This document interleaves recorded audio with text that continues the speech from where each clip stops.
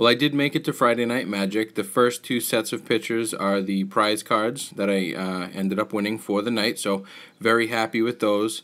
Uh, the next slide is of the deck I played with. Ended up with mono white. I uh, had a lot of really good cards. I couldn't pass them up.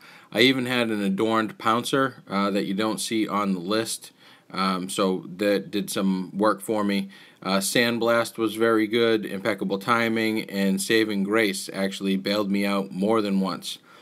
I started to move into green, uh, just wasn't getting the cards for it, so I just stuck with white, um, and then the few other uh, scrap cards that I obviously didn't play with.